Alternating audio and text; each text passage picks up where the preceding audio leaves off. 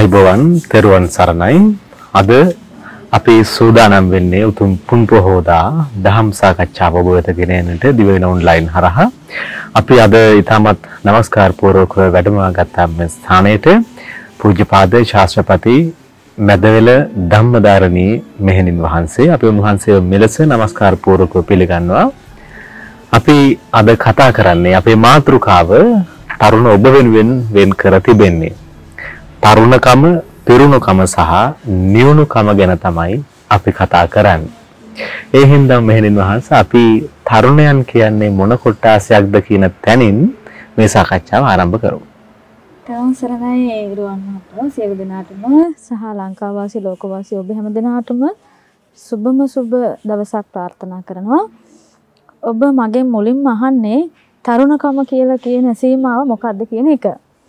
ඇත්තටම තරුණකම කියන වචනය යෞවනත්වය කියන වචනය එක එක රටින් රටට වෙනස් වෙනවා අපේ ඒ රටේ අනුව නම් අවුරුදු 14 15 වගේ ඉඳලා තමයි අපේ යෞවනත්වය ආරම්භ වෙන්නේ. සහ ලෝකය ගත්තාම ඒ ලෝකවල තියෙන එක එක ප්‍රඥාප්තිය අනුව ඒ වයස වෙනස් වෙනවා යෞවනත්වය ආරම්භ වෙන වයස. කෙසේ වෙතත් අපිට අවුරුදු 14 සීමාවේ සිට ඉහළට ඒ යෞවනත්වය ආරම්භ වෙන වග ඒ අයගේ හැසිරීම තුලින් ඒ අයගේ සිතුවිලි තුලින් අපිට ඒ අය කතා බහ කරන විදිහෙන් ඒ අය ක්‍රියා කරන විදිහෙන් අපිට නිර්වචනය කරන්න පුළුවන් යෞවනත්වය කියන එක අවුරුදු 14 වගේ වයසදී කාන්තා සහ පුරුෂ එහෙම නැත්නම් ගැහැණු සහ පිරිමි කියන දෙපාර්ශවයම යෞවන වයසට එළඹෙන වයස විදිහට අපිට සාකච්ඡා කරන්න පුළුවන්. සමස්තයක් විදිහට ගත්තාම. එතකොට මෙහෙණින් වහන්ස ලංකාවේ මේ අපේ සමාජයේ තරුණ තරුණියන් ගත්තට පස්සේ ඔබ වහන්සේටත් අත්දැකීම් ඇති අපේ අම්මලා තාත්තලා වැඩිහිටියෝ කියන්නේ අපි පොඩි කාලේ වගේ නෙමෙයි අපේ තරුණ කාලේ වගේ නෙමෙයි කියලා. දැන් ඉන්න තරුණ තරුණියෝ වෙනස් කියලා තමයි කියන්නේ. ඔබ වහන්සේටත් එහෙම වෙනසක් දැනනවද මේ තරුණ තරුණියන්ගේ? ඇත්තට මේක පොදුවේ කියන නිර්වචනයක් හැම හැම දෙනාම වැඩිහිටිය උදවිය මමත් ඒක ප්‍රකාශ කරන දෙයක් අපිට වඩා දැන් මේ ඉන්න තරුණ තරුණයන් වෙනස් කියන එක. ඒක ඒක එහෙම තමයි. හේතුව දැන් අපි ඉපදිච්ච කාලේ ගත්තාම නැත්නම් අපේ දෙමාපිය ඉපදිච්ච කාලේ ගත්තාම රුවන් ඒ අය ඉපදෙනකොට මේ වගේ තාක්ෂණික ලෝකයක නෙමෙයි ඉපදුනේ. නමුත් දැන් උපදින දරුවන් කියලා කියන්නේම තාක්ෂණික දරුවන් කියලා අපිට කියන්න පුළුවන්. ඔවුන් අපිට වඩා චින්තනයේ හැකියාවෙන් ඉතාම ඉහළින් ඉන්න ඉස්සරහින් ඉන්නේ. මේ සමහරවිට අම්මලා දැන් දකින දේවල් දැන් කතා බහ කරන දේවල් දැන් අත්දකින දේවල් ඔවුන්ගේ දරුවෝ ඊට වඩා ඉක්මනින් ඒවා ග්‍රහණය කරගෙන ඒවත් එක්ක හැසිරෙන්න ක්‍රියා කරන්න දන්නවා. ඒක මේ දරුවන්ගේ වරදක්වත් එහෙම නැත්නම් මේ සමාජයේ වරදක්වත් නෙමෙයි රුවන්. ඒක තමයි සමාජ පරිණාමය කියලා කියන්නේ. යුගයෙන් යුගයට උත්පත්ති ලැබෙන දරුවෝ ඒ අයට අනන්‍යතා ලක්ෂණ වලින් තමයි උත්පත්ති ලැබන්නේ. මේ සමාජයේ වෙනස් වීම හරහා. ඒ නිසා වැඩිහිටි අය විදිහට ඒ චෝදනාභීමුඛව තමන්ගේ දරුවන් දිහා බලන්නේ නැතුව මම යෝජනා කරන්න කැමති රුවන් ඒ දරුවන් මෙහෙම වෙනස් වෙලා තියෙන සමාජය තුල ඒ දරුවන් නිවැරදි කර ගැනීම සඳහා මඟ පෙන්වීමක් හරියට කරනවා නම්. ඒ වචනේ අපිට වඩා ඔයාල වෙනස්. මේ අපි වගේම ඉන්නේ. ඇත්තට උදාහරණයක් දැන් මම සරල දෙයක් කිව්වොත් රුවන් දැන් අපේ අම්මලා තාත්තලා ගොවිකම් කරපු ගොවි උදවිය. හැබැයි දැන් ඒ අම්මලාගේ දරුවෝ විදිහට අපේ සහෝදර සහෝදරයන්ගේ දරුවෝ දැන් කැමති නෑ ඒ ගොවිකම කියන එකට යන්න. ඉතින් ඒ අය බලන්නේ ඊට එහා යන්න. එතකොට ඒකට මේ අපි වගේ නෙමෙයි එහෙම කියන චෝදනා බිහිමුකව නෙමෙයි ඒ අයව දකින්න ඕනේ විවේචනය කරන්න ඕනේ ඒ අයගේ ලෝකය යහපත් කරන්නට ඒ අය උපදිනා තියෙන මේ සමාජ වටපිටාවත් එක්ක මේ හැසිරෙන ගණදෙන කරන සමාජයත් එක්ක ඒ අය නිවැරදිව යන්න නිවැරදි මඟ පෙන්වීමක් කරන්න පුළුවන් නම් අර වචනේ නොකිය ඊටාම වැදගත් කියන එක මම මතක් කරන්න කැමතියි. ඇත්තටම අපිට වඩා වෙනස්. ඒ ඒ අයට වඩා දැන් ඉන්න අවුරුදු 20 30 20 19 20 වයසට වඩා රුවන් දැන් ඉන්න අවුරුදු 5 6 ළමයි දිනුනොයි. ඒ ඒ දිනුන වෙලා තියෙන්නෙම මේ අපි සමාජයේ මිනිස්සු මේ යුගයෙන් යුගයට ඉස්සරහට යනවා. ඒ යුගයට අනුව තමයි ඒ දරුවා උත්පත්ති ලබන්නේ මේ යුගයට අදාළ විදියට. ඒක චෝදනා කරන්න ඕනි කාරණාවක් නෙමෙයි කියන එක තමයි මම මතක් කරන්න කැමති මේ වෙලාවේ. ඒ කියන්නේ වෙනස් වීම අපි වැඩිහිටියෝ විදියට පිළිගන්න අවශ්‍යයි කියන එක. පැහැදිලිවම අත්‍යවශ්‍යයි රුවන් වෙනස් වීම කියන කාරණාව පිළිබඳව බුද්ධිමත් වෙන්න ඕනි. ගතානුගතික විදිහට හිතන පරිසරයක නෙමෙයි දැන් අපි ඉන්නේ. දැන් වැඩිහිටියොත් මේ සමාජයට අනුව හැඩ ගැහෙන්නට අවශ්‍යයි. ඒ වෙනස් වීම ඔබ ඔබට අනුව වෙනස් කරගන්න සූදානම් වෙන්න ඕනි බුද්ධිමත් වෙන්න ඕනි. එහෙම නොවුනහම තමයි මේ තරුණ පරම්පරාවයි වැඩිහිටි පරම්පරාවයි අතර ගැටුම් නිර්මාණය වෙන්නේ. හ්ම්. ගොඩක් වෙලාවට අම්මලා තාත්තලා ගෙදරදී බනින්නේ ඔය ෆෝන් එක ටිකක් පැත්තකින් තියන්නකෝ ඉන්නෙම ඕකමයි දවසෙම. ඔහොම තමයි කියන්නේ. වෙන වැඩක් ඇත්තෙම නැද්ද? ටීවී එක ළඟමයි ඉන්නේ. පොතේ පතේ වැඩක් ඇත්තෙම නැද්ද? තරුණ තරුණියන්ට දුව දරුවන්ට කියන්නේ මේක. අම්මලා තාත්තලාට වැඩිපුරම පේන්නේ ළමයි දුරකථනයේ ඉන්න එකයි ටීවී එක ඉස්සරහ ඉන්න එකයි. ඔබ වහන්සේ කොහොමද ඒක දකින්නේ? ඔව් රුහන් මේ මේක දැන් මේ කොවිඩ් එක අපිට ලැබිච්ච දායාදයක් විදිහට තමයි මම ඒක සඳහන් කරන්න කැමතියි. ඒ කියන්නේ අපි සමබරව මේක අරගෙන ආවා. දරුවෝ අධ්‍යාපනයේ සාමාන්‍ය විදිහට ගියා ඊට පස්සේ දෙමාපිය සාමාන්‍ය රැකියාවලට ගියා ඒ වගේ අපිට කාලයක් තිබුණා එක පාරම අපි දැන් අවුරුදු දෙකක් වගේ කාලයක් තුල අපි දරුවෝ සහ වැඩිහිටියෝ කියන දෙපාර්ශ්වයටම මේ තාක්ෂණික ලෝකයට නොහිතාම එන්න සිද්ධ වුණා. ඉතින් ඒ සිද්ධ වීම වැඩි දරුවෝ දිහා විතරක් බලන්න එපා. ඔබත් ඒකට අනුගත වුණා. ඒ කියන්නේ ඔබටත් උනා ඔන්ලයින් හරහා රැකියාව කරන්න. ඒකට දරුවන්ට සිද්ධ වෙනවා ඔන්ලයින් හරහා අධ්‍යාපනය හදාරන්න. දැන් ඒක මුලින් ආරම්භ කරද්දී තිබිච්ච අභියෝගات එක්ක දැන් බොහොම සාර්ථක ක්‍රමයකට ගිහිල්ලා තියෙනවා. ඒතර මේ ඔන්ලයින් ඩිවයිස් එහෙම නැත්නම් ඔන්ලයින් භාවිතා කිරීම සඳහා ඩිවයිස් එකක් යූස් කරන එක භාවිතා කරන එක ඔබට වඩා ඉක්මනින් දරුවෝ ඉගෙන ගන්නවා. සමහරවිට ඔබ හදන්නේත් ඔබේ දරුවගෙන්. කියන්නේ ඒ දරුවට ඉතාම හොඳ හැකියාවක් තියෙනවා මේක අ, මෙහෙයවා ගන්න. ඒ නිසා සමහරවිට ඒ දරුවන්ට ඒක අලුත් අත්දැකීමක්. ඒ දරුවෝ ඒ අත්දැකීම විඳින්න කැමති. ඒ අත්දැකීම අ, තුල ඉන්න කැමති. හැබැයි ඔබ වැඩිහිටිය විදිහට ඔබට මේ තුලම රැඳෙන්න අවස්ථාව නැහැ. ඔබට තියෙනවා ඊට එහාගිය වගකීම් රාශියක්, යුතුයකම් රාශියක්. ඒවට එළඹෙන්න අවශ්‍යයි. ඒ නිසා ඔබ ඔබේ රැකියාව හෝ නැත්නම් දැන් සාමාන්‍ය පරිසරය තුල ඔබ සාමාන්‍ය වෙනවා. හැබැයි දරුවෝ සාමාන්‍ය බවට පත් වෙන්න කැමති නැහැ. ඒ දරුවාගේ විදිහ තමයි දරුවාට යම් කිසි දෙයක් ඒ වයසේදී මුණ ගැහුනාම ඒක අත්විඳින්න ඒක මගේ කරගන්න ඒක ග්‍රහණය කරගන්න දරුවා කැමති. ඉතින් මේ කැමැත්ත කියන එක ඒ දරුවාගේ යෞවනත්වයත් එක්ක ඇති වෙන දෙයක්. ඒක මේකදී සමාජමය කාරණා කිහිපයක් තියෙනවා. දැන් ඉස්සර ළමයි පාසලට ගිහිල්ලා තමන්ගේ හැඟීම් තමන්ගේ යම් කිසි වෙනසක් තියෙනවා නම් ඒවා සම මට්ටමේ ඉන්න යාළුවොත් එක්ක බෙදා හදාගත්තා. මට මෙහෙම දෙයක් තියෙනවා මෙන්න මෙහෙම දෙයක් හිතුණා. හරි මෙහෙම දෙයක් තියෙන බෙදා හදාගත්තා. ඒක එක පාරම නැති වුණා. ඒකට ඒක අම්මගෙන් බෙදා ගන්නත් බෑ තාත්තගෙන් බෙදා ගන්නත් බෑ දරුවට. මේ බෙදා ගන්න බැරි එක සමහර ළමයා ඩිවයිස් එක කරා බෙදා ගන්න වෙන්න පුළුවන්. ඒක ඔබ කාරුණිකව ඒ කියන්නේ දයාවෙන් යුක්තව මෛත්‍රියෙන් යුක්තව දරුවා දිහා බලන්න මේ දරුවා මෙතනින් හොයන්නේ දරුවාගේ යෞවනත්වයත් එක්ක මේ හෝමෝන ක්‍රියාවලියත් එක්ක වෙනස් වෙන ඉතිරිලි ඒ දරුවා බෙදාගන්නේ මේ මේක හරහා. එතකොට ඒ දරුවාට අවශ්‍ය ඒ පරිසරය ගෙදර ඇතුළේ නිර්මාණය කළ දෙන චෝදනා නොකර ඔබ පුතේ මේක භාවිතා කරනකොට මේ මේ අවශ්‍ය මේ අදාළ සීමාවෙදි මේක කරන්න. ඒකම හිටියොත් ඔබට මෙන්න මේ වගේ ප්‍රතිඵලයක් තමයි ලැබෙන්නේ. ඔබට මං වගේ නැත්තම් ඔබ කැමති කෙනා බවට පත් වෙන්න හම්බ වෙන්නේ නැහැ. සෝ ඔයා කැමති නම් මෙහෙම කෙනෙක් වෙන්න ඔයා ඕක භාවිතා කරලා ඔයා ඒකට අනුව වැඩ කරන්න. කියලා මඟ පෙන්වීමක් කරනවා නම් හොඳයි. ඇත්තට මේ චෝදනා කරනවට වඩා ඒ ළමයාව මෙහෙවන්න පුළුවන් නම් ඇයි මේ ළමයා මෙච්චර මේකට ඇබ්බැහි වෙලා තියෙන්නේ? සමහරවිට මේ දරුවට යාළුවෙක් ඇසුරු කරන්න විදිහක් නැහැ. සෙල්ලම් කරන්න යන්න විදිහක් නැහැ. ඒ හැඟීම් ටික තියාගන්න කෙනෙක් නැහැ. ඒක අරක හරහා හොයාගන්න බෙදා ගන්න වෙන්න පුළුවන්. ඒ දිහා බලලා ඔබට පුළුවන් නම් ඔබේ දරුවත් එක්ක පුළුවන් තරම් සමීප වෙන්න. දරුවගේ යාළුවා වෙන්න. ඒ හැම දෙයක්ම කියන්න පුළුවන් කෙනා වෙන්න. මේක ගෙදර ඇතුළේ විසඳ ගන්න පුළුවන් ප්‍රශ්නයක් කෙනෙක් මට පේනවා. ඔබ වහන්සේගේ දේශනාව ඇතුලේ ඔබ වහන්සේ කියන මේ බෙදාගන්න විදියක් නැති එකත් එක්ක මේ ගැටලු මතුවෙන්න පුළුවන් කියලා. හැබැයි වර්තමානයේ වෙන විට මේ තාක්ෂණික දියුණුවත් එක්ක විශේෂයෙන්ම මේ ජංගම දුරකථන වල ඇසුර වැඩිවීමත් එක්ක අනවශ්‍ය දේවල් අනවශ්‍ය පුද්ගලයොත් එක්ක බෙදා ගන්න ගිහිල්ලා මහා ගැටලුවට මුහුණ පාපු ගැහණු පිරිමි ළමුන් මේ දෙපාර්ශ්වෙම ඉන්නවා. ඒකට මොකද්ද කියන්න දෙන්න ඔබ වහන්සේට? ඇත්තටම ඒක තමයි අර වඳුරට දැලිපිරිය වුණාම වුණා වගේ කියලා අපි උදාහරණයක් නිකන් සාම සමාජය තුල ගැමි සමාජය තුල කියන්නේ ඉතින් මේ දරුවොත් දරුවා කියන්නේ කුඩා මිනිසෙකු නෙමෙයි යෞවනයා කියලා කියන්නේත් එහෙම තමයි රුවා. ඒතර මේ එන්නේ අත්දැකීම් අරගෙන ඒ අත්දැකීම් හරහා තමයි ඉස්සරහට පාතබන්නේ. එතකොට ඒ එයාගේ පළවෙනි අත්දැකීම විදිහට දැන් අපි කියමු උදාහරණයක් විදිහට දෙමාපියන්ගේ ආදරයේ ඉන්න කුඩා කාලේ ඉන්න කුඩා දරුවා යෞවනත්වයට පත්වීමත් සමග දෙමාපියන්ගේ ආදරයෙන් මිදිලා තව ආදරයකට මඟ පාද ගන්නවා.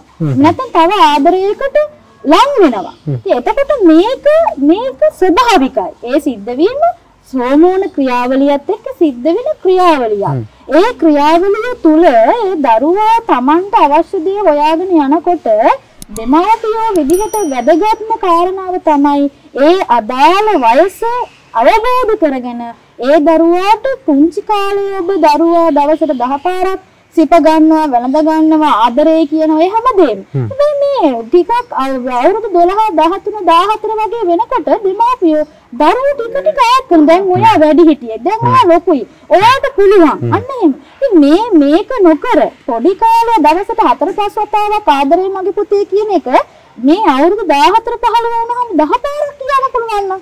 පුතේ ඔයාට මං ආදරේ ඔයාගේ තාත්තා ආදරේ. මේ මේ අර වැරදි ආදරයක් හොයන්නේ නැතුව මේ ආදරය තුල රැඳෙනවා. ඉතින් මේ මේ- ළමයි ඩිවයිස් එක හරහා හොයන්නේ ඒ තනිකමට උත්තරයක් රුවන්. ඒ දෙමව්පියන්ගේ සිද්ධ වෙන වැඩිහිටියන්ගේ මේ ළමයි දිහා බලන මේ දැක්මෙන් මිදිලා මගේ දිහා ආකර්ෂණය කරන මටම මාවම බලන කෙනෙක් ළඟ ළමයි නතර වෙනවා. ඒ නතර වෙලා ඒ ලෝකයේ තුල නතර වුණාම ඔවුන්ට එතනින් මොනවා ගැටලුවක් ආපු ගමන් ඒ අයට වැඩිහිටියන්ට කියා ගන්න විදිහක් නැහැ. ඊළඟට ඒකට උත්තරයක් හොයාගන්න බෑ. තාම පරිණත නැහැ සමාජයේ අත්දැකීම් නැහැ ඉවසීමක් නැහැ මේ දරුවෝ ළඟ. ඒ අය ඒ අයට හොඳයි කියන තීරණය නිරායාසයෙන්ම ගන්නවා. ඉතින් මේ මේකට වගකිව යුත්තෝ විදිහටම රුවන් මම කතා කරන්නේ අවවාද දෙන්නේ මම දකින්නෙම මේ වැඩිහිටි අයගේ තියෙන දුරස් වීම ආදරය අඩු වීම ඔබේ ළමයා නොමග යෑමේ පළවෙනිම පියවර. ඒතර මේ දරුවා කියලා කියන්නේ ඒ දරුවා ඒක තුලින් හොයන්නේ මොකක් හෝ ඔබෙන් නොලැබෙන අඩුපාඩුවක්. මේ නොලැබෙන අඩුපාඩුව සම්පූර්ණ කරන්න පුළුවන් නම් මේ ඩිවයිස් එක තුලින් ජීවිත කාලයම ළමයා ඉගෙන ගත්තත් හරි මඟ පෙන්වීමක් තියෙනවා නම් ඉතාම නිවැරදිව එහෙම යන්න පුළුවන්. එහෙම යන ළමයි ඕනෑ තරම් අපේ සමාජයේ ඉන්නවරුවන් උදාහරණ විදිහට ගත්තම ඕනෑ තරම් ওই තාක්ෂණික වැඩ කරන දෙමාපියන්ගේ දරුවෝ ඒ දරුවා ඒ විදිහට ජීවිතය විනාශ කරගන්නේ මොකද ඒ අම්මට තාත්තට තියෙන ඔය ගැන හොඳ දැනුමක්. ඒ ඒ දැනුම හරහා මේ දරුවෝ මෙහෙවනවා. ඒ අයට අදාළ දේවල් විතරක් බලන්න අවස්ථාව හදලා දෙනවා. ලෝකේ හොයන්න, ගවේෂණය කරන්න, කැමැති පැත්තට යන්න, නිර්මාණශීලී හැකියාව දියුණු වෙන්න මේ වගේ ඒ පැති තෝරලා දුන්නාම ඒ ළමයා ඒක හරහා යනවා. එහෙම නොකර මේක ඩිවයිස් එක ගෙනත් දෙනවා. ගෙනත් දීලා හැම වෙලේම චෝදනා කරන ඕක අතේ තියන් ඉන්න එපා ඕක අතේ තියන්. ඒක අතේ තියන් ඉන්න එපා කියනට වඩා ඒ ළමයට ඒක තුල හොයලා දෙන්න පුළුවන් නම් මග ගවේෂණය කරන්න පුළුවන් තැන ඉගෙන ගන්න පුළුවන් දෙයක් මේ තාක්ෂණය හදාරන්න පුළුවන් දෙයක් ලෝක දැනුම විශ්ව දැනුම මේ ළමයා මේ හරහා යනවා. ඒක තමයි කියන්න තියෙන එකම දේ අපි. මව්පියන් දීර්ඝකාලීනව දරුවන්ට පොඩි කාලේ ඉඳලා දරුවන් සමුගන්න කම්ම දරුවන්ට ආදරේ ඇති. හැබැයි උන්වහන්සේ සඳහන් කරන්නේ මැදදී අපේ තරුණ කාලෙදී දරුවන්ට ආදරේ දැනෙන එක දරුවන්ට ආදරේ දැනෙන්න කරන එක නතර කරන්න එපායි කියන වග. ඒත් එක මෙහෙණින් වහන්සේ දෙමව්පියෝ වැඩිහිටිය විදියට දැනුවත්භාවයක් නැතිකම විශේෂයෙන්ම තාක්ෂණය සම්බන්ධයෙන් දැනුවත්භාවයක් නැතිකම අනේ අපි නම් ඕව දන්නේ මංගියේ පහවසරට විතරයි. ඔහොම කියන දවපියුත් ඉන්නවා. එහෙම වුණත් ඒ දෙමාපියන්ට මොකක් හරි මගක් තියෙන්න බෑ මේ තාක්ෂණික ලෝකයේ මේ දරුවන් තාක්ෂණයෙන් තනි වෙන නොදී රැක බලා ගන්න. මොකක්ද ඒකට තියෙන මග? පැහැදිලිවම ඔව් ඒ අපි ඒ ගත්තාම දැන් මේ ඩිවයිස් එක අපි නොහිතපු පැතිවල හිටපු මිනිස්සු අහිංසක මිනිස්සුන්ටත් මේක තමන්ගේ දරුවට ගෙනත් දෙන්න සිද්ධ වුණා සම- සමහරට නොකා නොබී ඒ අම්මා තාත්තා දරුවට මේ ඩිවයිස් එක අරන් දුන්නා. එතකොට ඒ අය ජීවිතේට මේක දැකලා තිබුණේ අතගාලා තිබුණේ මේ මොකද්ද කියන එකක් දැනගෙන තිබුණේ. හැබැයි මම කියන්න කැමතිරුවන් මේ අපි අපි ඉන්නේ දැන් මේ තාක්ෂණික ලෝකයකනේ. එතකොට මේ මම දන්නේ නැහැ මට බෑ මේක කියනවට වඩා මේ ෆෝන් හදලා තියෙන්නේ මේ ඩිවයිස් හදලා තියෙන්නේ පුංචි ළමයට පවා පාවිච්චි කරන්න පුළුවන් විදියට රුවන්. මේක මේ ඇඟිලි සීමාවේ තියෙන එකක් නේ.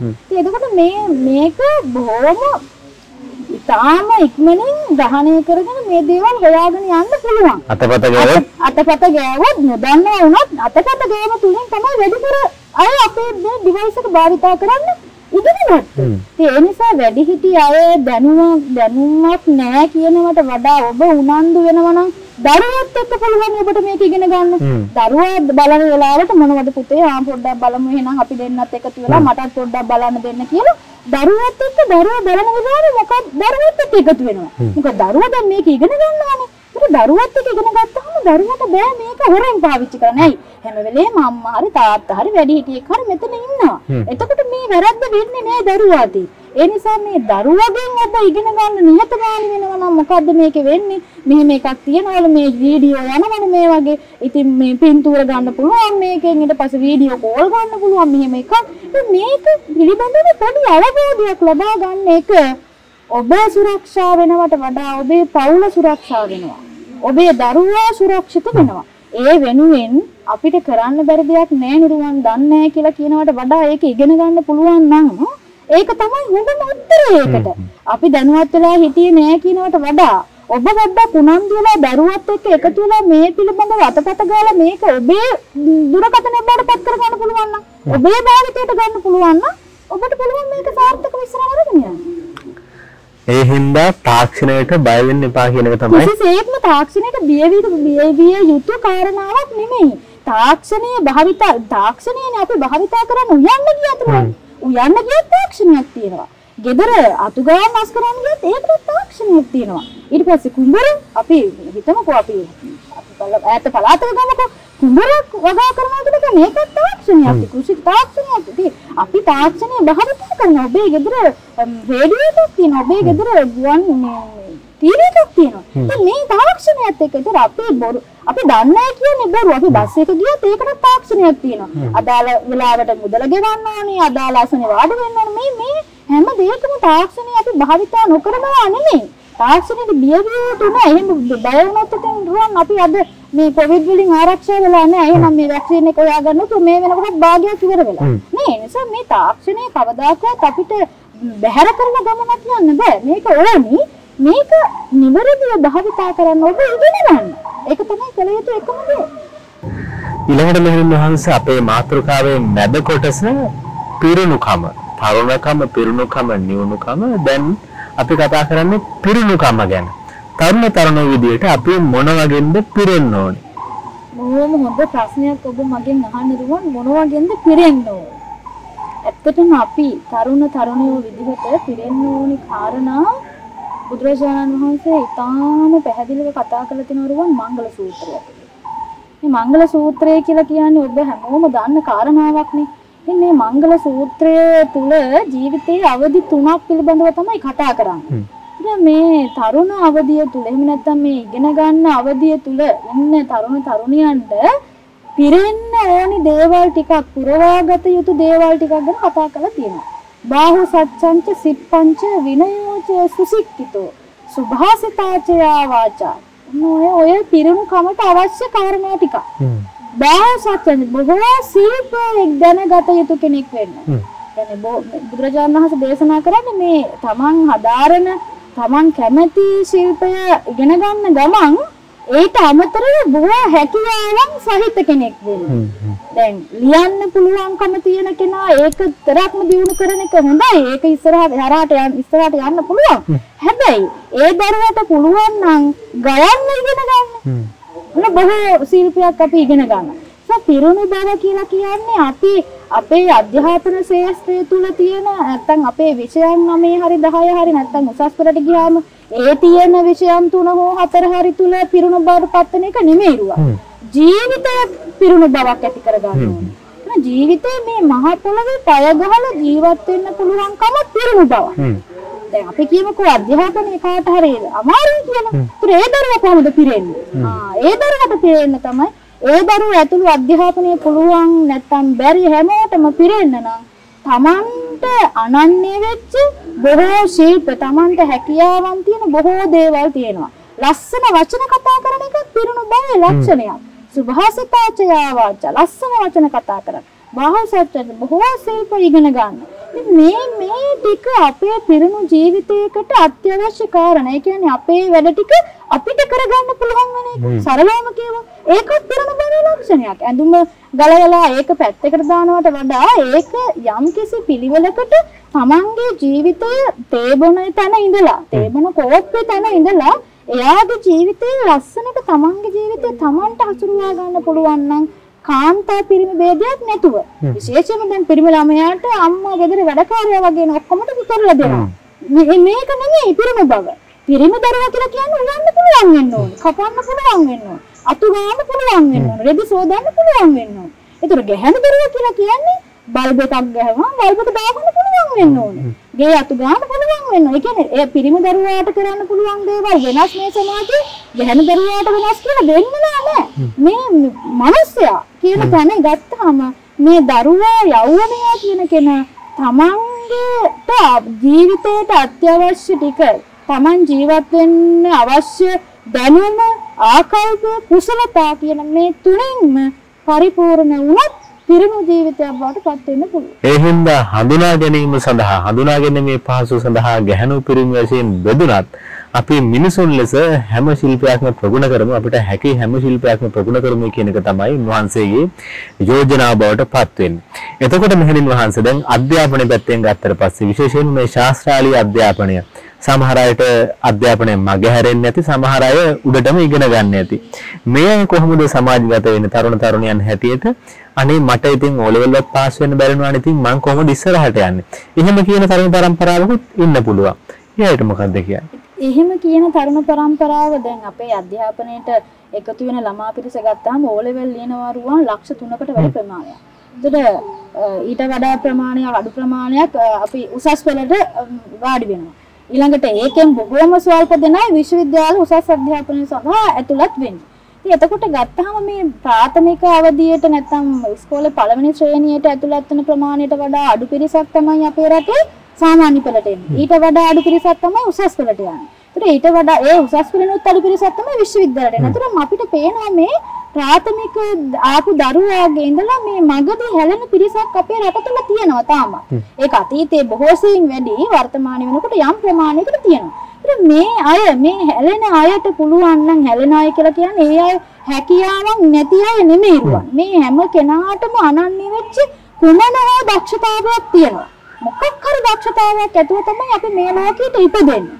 මේ Tamanට අනන්‍ය වෙච්ච දක්ෂතාවය හොයාගත්තොත් ඔබට අධ්‍යාපනය කියලා කියන්නේ මෙවලුමක් විතරයි රුවන්. ඒ උසස් අධ්‍යාපනයට ගියත් වැඩක් නෑනේ රුවන්. ඒ කෙනාට ප්‍රායෝගික ජීවිතයේ තමන්ගේ ජීවිතය සාර්ථක කරගන්න වැඩ ටික බැරි නම් ඒකටත් පොත බලන්න. ඒකටත් පොත බලන්න වෙන්නේ. පොල් ගහේ ගෙඩියක් හදාගන්න බැරි නම් කවුරුවත් උසස් අධ්‍යාපනය නෙවෙයි ප්‍රථම දේ වැඩන්නේ. ඉතින් ඒ නිසා තමන්ට අදාළව වැඩ කටයුතු ටික කරගන්නකොට ඒ තුන දක්ෂතාවය තියෙනවා නම් අපි කියමුකෝ මේ දැන් තමන්ට අධ්‍යාපනයේ විවිධ මට්ටම් මේ බුද්ධිය කියලා කියන එක එක්කමට අනන්‍යයිනේ. ඒ මතක ශක්තිය තියෙන විදිහ වෙනස්.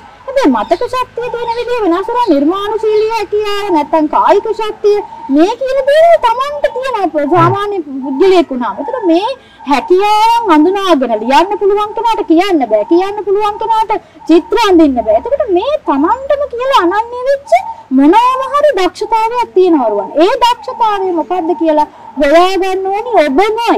ඔබමයි. ඒක කවුරුත් හොයලා දෙන්නේ නැහැ. ඒක කිසිම කෙනෙක් හොයලා දුන්නට වැඩක් වෙන්නේ නැහැ. සමහර විට ඔබට තේරෙන්නේ නැතු වුණාම මොනවා හරි දෙයක් ආගිහරි අහගන්න පුළුවන්. ඊට වඩා ඔබට තිය- තිබෙන ඔබේම දක්ෂතාවයක් තියෙනවා. මේ දක්ෂතාවය ඔබ හොයාගන්න. පළවෙනි එක ඔබ ඔබට ආදර කරන අනේ මම ෆේල් මට නෑ. මම විභාගේ ෆේල් වෙලා මට ඉගෙන ගන්න බැරි වුණා. මෙහෙම මේ නෙගටිව් වෙනකට වැඩිය ඔයාට පුළුවන් නම් ලස්සනට අඳින්න. ඔයාට පුළුවන් නම් ලස්සනට කතා කරන්න. ඒකත් ලොකු හැකියාවක්. ඉතින් මේ ඔබට පුළුවන් දේ දැනගෙන ඒක හොයාගෙන ඒක හරහා ඉස්සරහට යන්න. දැන් මේ උගත් අය ඉස්සරහට යනවට වඩා අර හැකියාව අනුව ඉස්සරහට යන අය ලෝකෙ දිනලා තියෙන ඕනි තරම් අතීතයේ ඉඳලා ගත්ත උගත්තු ගත්තාම රුවන් ඉන්නේ හැම කෙනාම මේ අධ්‍යාපන පැත්තෙන් ඉහළට ගිහිලා දියුණු වෙච්ච උදවිය නෙමෙයි හැමෝම ඉන්නේ එ- පෙරදිලා දෙනපු අය. පෙරදෙන පෙරදෙන පාරට නැගිටපු අය. ඉතින් ඔබ හොයලා බලන්න මේ කතාව අපි උදාහරණයක් මේ බල්බ් එක ගැන හිතන්න ගන්න 999 වතාවක් මේක ෆේල් වෙනවා. මේ දහස් වෙන වතාවේ සාර්ථක වෙනවා. ඉතින් අපි හිතනවා එකපාරක් ගිහිල්ලා මොකක් හරි ෆ්‍රීවිල් එකක් හරි අරගෙන නෑ මොකක් හරි කරන්න කියලා නෑ මට හරියන්නේ. මට මේක කරන්න බෑ. එහෙම නෙමෙයි ඔබ උත්සාහ කරන්න. ඔබේ හැකියාව ඔබ හඳුනාගන්න. හඳුනාගෙන ඒ හැකියාවටම ඒකටම තැන දීලා ඒ වෙනුවෙන්ම ජීවිතේ කාලය වෙන් කරලා ඔබට පුළුවන් ලස්සන නිර්මාණයක් කරන්නද ලස්සනට හිතන්නද ලස්සනට කතා කරන්නද ලස්සනට උයන්න. මේ මේ උයන්න පුළුවන් එකක් ලොකු දෙයක්. ඒක හැමෝටම කරන්න බෑ. ඉතින් මේ Tamanට පුළුවන් මොනවා හරි හැකියාවක් තියෙනවා ඒක හොයාගන්න. මුලින්ම ඒ හොයාගෙන ඒක උපමට්ටම් කරගන්න. එතකොට ඔබ අර අයටත් වඩා එහා ගිය සමාජයේ ඉහළ වටිනාකමක් තියෙන පුද්ගලයෙක් බවට පත් වෙනවා. ඊට පස්සේ මෙහෙණින් වහන්සේ අපි කතා කරන්නේ නියුණුකම ගැන. මොකද්ද මේ නියුණුකම? ඇතැම් දෙනා කියන්නේ අනේ මට නම් එයාව එච්චර අල්ලන්නේ නේ? එහෙම කියන අය ඉන්නවා. එයාගේ ලොකු ලයින්. එහෙමත් කියනවා. මොකද නියුණුකම නැතිකමද එහෙම කියන්නේ? නිවුණුකම කියලා කියන වචනේ ඔබ මෙතෙන්ට ගත්ත එකට මම ඔබට ස්තුති කරනවා. කියන්නේ මේ නිවුණු බව කියලා කියන එක මේ ඇතුළෙන් නිවන එක තාම වැදගත් දෙයක්. ඒකට වයස් ભેදයක් නෑරුවා. ඒකට කිසිම ಜಾති ભેදයක් නෑ. ආගම් ભેදයක් නෑ. වයස් ભેදයක් නෑ මේ නිවුණු බවට. නිවුණු බව ඇති කරගන්න ඕනේ කායිකව වාචසිකව මානසිකව මේ තුනම නිවුණු කෙනෙක් වෙනවා කියලා කියන්නේ. ඔහු ඊටාම යහපත් පුරුෂයෙක් සත්පුරුෂයෙක්. අපි ආගමින් තොරව කතා කරොත් ඔහු ඊටාම හොඳ සත්පුරුෂයෙක්. හැම. දිනාම ප්‍රිය කරන හැම දිනාම කැමැති ඇසුර කරන්න කැමැති වර්ණනා කරන යහපත් කෙනෙක් බවට පත් වෙන්න නම් ඔබ නිවුණු කෙනෙක් බවට පත් විය යුතුයි. මේ නිවීම පිණිස උගන්වන කරුණු ගණනාවක් තියෙනවා කරණීය මෙත්ත සූත්‍රය තුල. ඉතින් මේ මේ කරණීය මෙත්ත කියලා කියන්නේ කළ යුතු මෛත්‍රිය. මේ කළ යුතු දේවල් ටික සක්කෝ උජූච සූජූච සුවචෝ චස්ස මුදු අනතිමානි මේ කියන ಗುಣ ටික ඔබ ඔබේ ජීවිතයට එකතු කරගන්න පුළුවන් නම් ඔබට පුළුවන් නිවෙන්න. පළවෙනි එක නිවෙන්න මම දෙන උපදේශය ඔබ නිවෙන්න ඔබේ මනසින් මේ තරුණ දරුවන්ට තියෙන ලොකුම ගැටලුවක් තමයි රුවන් නිවුණුකම නැතිකම. කියන්නේ ඔහුට ජීවිතේට තරුණ දරුවාට ආදරයක් ආවහම ඒක රාගයකට පෙරළුනහම ඒක අහිමි වුණාම ඒක දරා ගන්න නිවුණුකමක් නෑ. හිත ඇතුලේ නිවීමක් නෑ. ඉතින් මේක ඇති කරගන්න පුළුවන් නම් මේක නිකන් එන්නේ නෑරුවන්. මේක පුහුණු කරන්න ඕනේ. මොන වැඩිහිටියන්ට දෙන උපදේශය පුංචිම පුංචි දරුවාගේ ඉඳලා ඔබේ ගෙදර ඉන්න අවසාන පුරුෂයා අවසාන වැඩිහිටියා දක්වා මේ නිවුණුකම පුහුණු කරන්න ගේ ඇතුලේ. ගේ ඇතුලේ දවසට විනාඩි 5ක් 10ක් භාවනාවක් තුළ මනස සංසුන් කරන්න පුහුණු වෙන්න. මේ නිවුණු බව ඇති මේ මනස සංසුන් කිරීමත් එක්ක. මේ නිවුණු බව තිබුණොත් විතරමයි රුවන් ඔබ බලාපොරොත්තු වෙනවා නම් දැන් උදාහරණයකට රුවන් බලාපොරොත්තු වෙනවා යම් ඉලක්කයක් ඒ ඉලක්කයට යන්න පුළුවන් ඔබ නිවුණොත් විතරයි පළවෙනි එක. ඔබ නිවුණු නැත්තම් ඔබට අර ඉලක්කය සාර්ථක කරගන්න බෑ. හේතුව අතර මගදී ඔබ වෙන වෙන තැන්වලට හැරෙනවා. ඔබේ හිත නිවිලා නැහැ. ඔබ ඇවිලෙනවා. ඔබ යම් යම් තැන්වල ඇලිලා. ඉතින් එතකොට ඔබට වරදින්න පුළු ප්‍රවණතාවය වැඩි. ඒ නිසා ඔබට නිවෙන්න පුළුවන් නම් නිවෙනවා නම් ඔබේ හිත ඔබේ ඉලක්කය සාර්ථක කරගන්න පුළුවන්.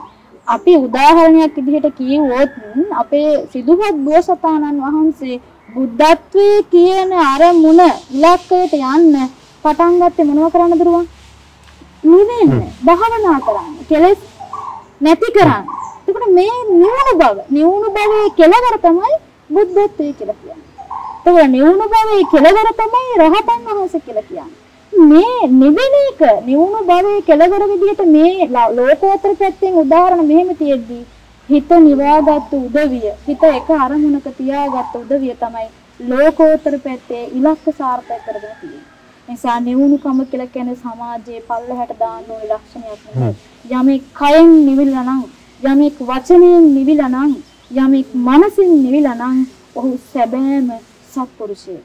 ඔහුට පුළුවන් ලෞකික සහ ලෝකෝත්තර කියන දෙයන්සේම සාර්ථක කරගෙන තමන්ගේ මෙලවත් පරලවත් කියන දේ- දෙලොවම සාර්ථක කරගෙන ජීවිතේ සතුටෙන් සැනසීමෙන් ගත කරන්න පුළුවන්කම ලැබෙනවා.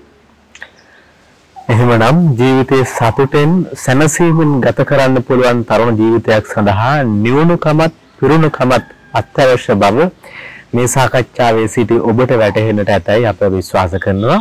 ඒත් එක්කම අපි අපගේ নমස්කාර පූර්වක පුණ්‍ය අනුමෝදනාව සිද්ධ කරනවා ශාස්ත්‍රපති පූජ්‍යපාද මැදවිල ධම්මදාරණී මෙහෙණින් වහන්සේට මේ ස්ථානට වැඩම කොට මේ ධම් සාකච්ඡාව සමග සම්බන්ධ වීම වෙනුවෙන්. තෙරුවන් සරණයි